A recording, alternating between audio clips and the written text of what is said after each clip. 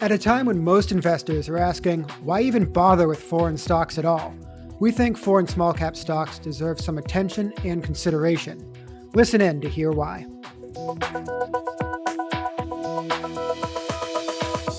Hello, and welcome to another Adviser You Can Talk to podcast. I'm Jeff DeMaso, Director of Research here at Adviser Investments. And today I'm joined by Liz Laprade. Liz is a research analyst on the team, and some of you may know Liz from her weekly market takeaway videos. If you haven't seen them or want to hear more from Liz after this conversation, you can find her videos on our website every Tuesday. Sorry, Liz, I couldn't resist plugging your videos. Either way, welcome back to the pod. No, I appreciate it. Hi, Jeff. Thanks for having me. Great. I'm glad you're here because today I wanted to pull back the curtain on some of the research you've been working on, specifically around foreign small cap stocks. Now, I know, I know with US stocks well ahead of foreign markets over the past decade, most people these days are asking, why even bother with foreign stocks at all, let alone smaller companies outside of our borders? Said another way, smaller foreign companies simply aren't even on most people's radars and therein potentially lies the opportunity. Because clearly, we think investors should give foreign small cap stocks some consideration, or we wouldn't be having this conversation today. So, before we get to our research, though, Liz, let's address that elephant in the room. Should an investor even bother with foreign stocks at all, given how well US stocks have done over the past decade or so? Right, Jeff, that's a, a absolutely fair question look, I'm not about to say put all your money in this part of the market. That's just honestly not great portfolio management, but diversification is important for a portfolio over time. And I think that small cap international stocks are a great part of the market to include. The US stock market absolutely has outperformed international over the last decade. But there are some tailwinds right now with a weakening dollar and different global economies emerging from this crisis at different times. So I, I still think it's prudent to be diversified internationally.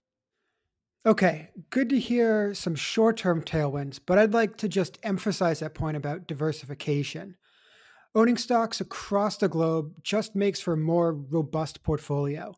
When we build portfolios, we want them to be able to perform in multiple futures. As we've seen this past year, no one can predict what the road ahead has in store for us. Uh, and you don't need to go overboard with it, but including some foreign stocks improves your odds of earning a satisfactory return in multiple scenarios. So, yes, we believe in owning stocks from companies across the globe. So, let's get straight into your research, Liz, on foreign small cap stocks. I think I said that foreign small cap stocks enough times in the intro, and maybe that's the place to start is can you just define the universe? You know, what do we mean by foreign small cap stocks? Sure. So I, I think there are a few ways to define the space, but roughly, I'm going to draw the line at under $2 billion market cap company outside the United States. Uh, for example, Vanguard's ex United States small cap index has about 4,000 stocks. Now, if you actually compare that to the Russell 2000, which is domestic, that's about double the investment opportunities right there. And then if you compare, say, the Vanguard All World, so the entire investable universe, that's about 9,000 stocks. So small cap international actually makes up about 45% of the entire investable universe. Okay, so it's clearly a lot of stocks. You know, what else about the space grabbed your interest? So I think given location and volume, I find that this part of the market is highly underfollowed and then thus underdiscovered. So for example, there are about 40 analysts right now covering just the earnings estimates for the fourth quarter of this year for Amazon.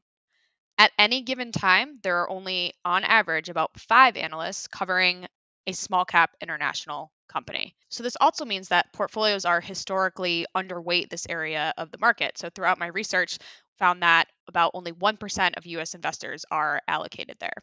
Anecdotally, I honestly can't even tell you, Jeff, how many 401k plans I've personally reviewed over the last three to five years where I don't think I've ever seen a small cap international option. If I have maybe one or two plans at most. So, just kind of from my own experience, I can also say I know that it's not highly offered. Okay, okay. So lots of stocks, underfollowed. I, I can see where you're going with this. You're going to talk to me about active management next, aren't you? you got me. Yes. Uh, I think it's a great place for stock pickers. You know, so in my mind, right, there's two ways to outperform your benchmark or peers. First, find the right company, and then buy them at the right price and weight. When you think about, um, say, a more consolidated universe like large cap domestic stocks, active managers are looking at a small universe, so say a thousand stocks. And so a lot of people will complain that all the large cap active domestic managers have the same stocks. Well, that's because they do, right? Their pool is smaller to pick from. So suddenly picking the right price and the weight becomes more important than picking the right company because a lot of you guys are going to pick the right company when Apple's a great company. But if you think about a universe as large as Small Cap International, which is four to 5,000 stocks, with significantly less number of active managers, you're going to end up finding some companies that other people might not be looking at. So if that's the case, you can get alpha from both the company and the right price and weight.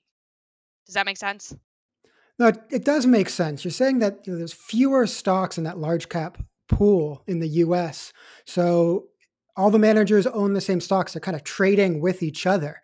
Um, whereas when you compare that overseas, it sounds like you're saying, you know, there's lots of stocks to pick from. Often managers' portfolios looks totally different from the next manager, even though they're both foreign small cap managers. So they're probably trading against different people, not necessarily against each other, kind of a different level of skill matching uh, each side of the trade. Is that what you're saying? Do I got, do I have that right? Yes, yeah, no, that's that's absolutely correct. And there are actually numbers to back this up. So over the last three years, only 25% of the 375 active managers in the large cap domestic growth space outperformed the S&P 500.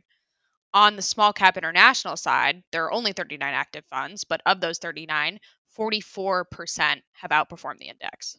Wow, that's definitely as a you know person who's looking at active funds sounds like a more attractive opportunity set there to be looking at. exactly. at. All right, but you know what I don't want to lose sight of is is the side of risks. We always talk about you know people's concerns are as important as their returns, and we are talking about small cap stocks, but we're also talking about foreign small cap stocks, which seems like maybe a double dose of risk. Mm, I see. I, I see what you're saying, and I think that's potentially biased by the relationship that we're used to here in the U.S. Um, the risk profile abroad, so between small cap and large cap, is actually very different than here. So, here in the US, small cap stocks tend to be riskier. The small cap index is, has a standard deviation of 25, while large caps have a standard deviation of 19. Abroad, however, the relationship between small and large is very different. Uh, small caps standard deviation is 17, while large is at 15. So small caps are actually not that much more risky than large caps internationally. Okay, so standard deviations, kind of how volatile stocks are. What about you know drawdowns or, or how far you are from a prior high? What, what do they perform like in bear markets? So in past bear markets or, or market corrections, uh, we have found that historically small cap international stocks do go down a little bit harder than large cap international stocks. However, they do tend to rebound a lot faster. Okay, so there is is a bit more risk there when we're going small cap versus large cap, but maybe not to the same degree that we see in the U.S. Um, why? Why is that different? So that was the track record, uh, historically, what we've seen. So no guarantees for the future, but I do think it comes down to the types of companies. So in the US, the largest allocation by subsector in the Russell 2000 are biotech companies. Typically, these companies are not profitable when they go public or even maybe for a long time after that, and their stock prices rely on binary outcomes, which can lead to big you know stock price swings if a trial or something doesn't go as expected i mean we've actually seen a lot of that this year internationally however small cap international space tends to be more concentrated in real estate banks and broader industrial companies which are more likely to be profitable when they go public Okay, so a pretty different makeup of the type of companies that are in the two universes in the US and outside. Okay, Liz, I think you've covered a lot of ground here. Let me see if I can recap the different points you've made here on foreign small cap stocks. The first is that there's just a lot of companies out there, and many of them are not closely followed, and that this potentially makes a good environment for active managers. And on top of that, when we consider the risk profile of foreign small cap stocks, uh, they're pretty similar to what you might see from foreign large cap stocks. So you've been able to get a little bit of a return boost with foreign stocks uh, without necessarily taking on all that much more risk. At least that's what the historic record tells us. Right. Uh, yep. And it sounds like a pretty good story to me. I hope it gives investors something to consider. Me too. Okay. This has been Jeff DeMaso and Liz Laprade from Adviser Investments, thanking you for listening to the Adviser You Can Talk To podcast. If you enjoyed this conversation, please subscribe and review our show. You can check us out at adviserinvestments.com slash podcasts. Your feedback really is always welcome. If you have any questions or topics that you'd like us to explore, please email us at info at adviserinvestments.com. Once again, I'd like to thank our editors, Kaylee Steele and Ashlyn Melvin, for making this podcast a reality. And thank you for listening, and happy holidays.